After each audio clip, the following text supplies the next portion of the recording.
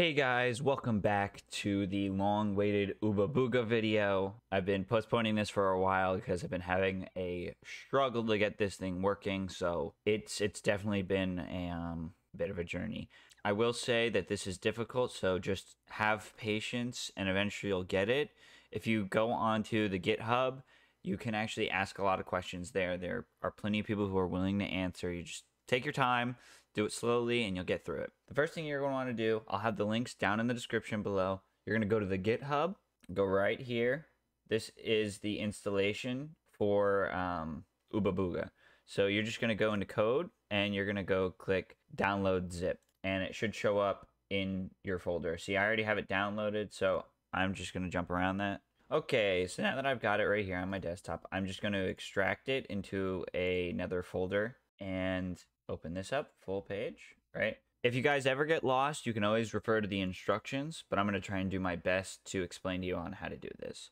The first thing you're going to want to do is actually go to the install.bat. This will install everything that you need. Just click more info and run anyway and continue. Now, this part right here, it's asking whether or not you want to select your GPU or your CPU to run off of. If you have a GPU, you can use that or if you have a stronger CPU and just have a weaker GPU, then maybe you should consider using the CPU. But for me, I have an NVIDIA uh, GPU card. And so now it's going to start the installation progress. This may take a while. So that seems to be the ins- um, that seems to be the solution to if whether or not you your Miniconda isn't working, all you're going to have to do go into the installer files, locate the Miniconda folder, delete everything that's in the Miniconda folder except for the folder itself, and then and then just rerun the install that bat file and that should fix everything. And then we're going to retry and uh, we're going to start the web ui and see if that works. Okay great. So now that i'm finished all we need to do is press any key to continue.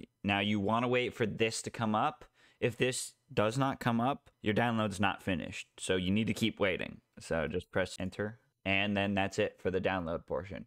Next up we're going to start the web ui just click on that .bat file and we're going to do the same thing again. We're going to more info and run anyway. Okay, so this is the console for the web UI.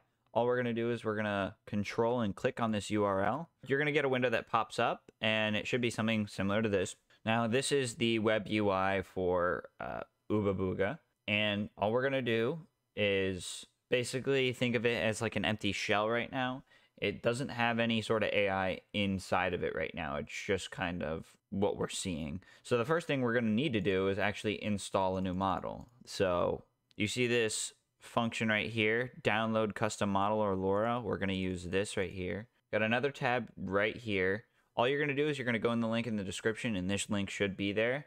But we're going to be downloading Pygmalion 6B. Uh, it's just my preference. That's the one that I've been using. Um, and you're going to see these two little squares that are overlapping. Just click that little square, and you will copy the link for that. Now you're going to pop back over to text generation web UI, right click, paste it in, and then click download. You're going to notice right here that it's saying that it's starting to download the model and you will just have to wait. Okay, so now that my download has finally finished, you should see it done there. If you have any errors, they'll pop up right here. And as I mentioned before, you can just go to the GitHub and ask people over there. More often than not, they'll know what to do, or people with common issues, you can look on those forums as well. So right now, these are the settings that I've found work for me. First thing we're going to do is we're going to load the Pygmalion AI model. So just click that in the model tab. And then we're going to go below here. We're going to go to GPU memory. And I'm just going to crank this all the way up. It's using all of my memory in my GPU rather than the memory in my computer so that I can finish recording this. I've had several issues where that's happened because this sucks up a lot of memory. And the next thing you're going to want to do is load in 8-bit. Um, now the, the next thing that we're going to want to do is just click load. Okay, so going over the separate tabs, we have the chat settings. This is going to contain all your settings for uploading your character, your character settings, and so on and so forth. So if we go into upload character, you can clearly see here you can upload a character or you can upload an image for your own self in the chat. Now moving on to parameters, you can edit the repetition penalty and you can also edit the max new tokens. What these are going to do is if your AI is repeating the same word or same sentence over and over again, you can up that penalty number and that should try and deter the AI from saying those same things over and over again. Now, with the max new tokens, you can set that level higher if you want the AI to maintain a longer memory about the conversation. And if you want to have the AI have longer sentences per conversation, right?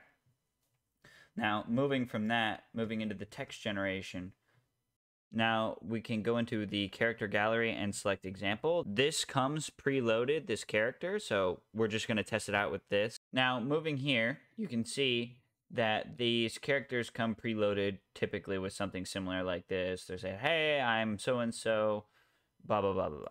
I can't actually run the program and run the AI at the same time because the, the quality of the video goes down and it starts skipping. So just for the quality of the video, I, I typed hey previously and this was my last conversation with this chat bot and this is this was Hey the there. response. Are you ready to dive right in? So you can see that the AI is clearly working. Previously in my last video, I was using Kobold AI and Pygmalion AI, and I also did it for mobile as well. So you can check that tutorial out too. If you enjoyed the video, make sure to click that like and subscribe button for more. Thank you guys so much, and I'll see you guys next time. Bye.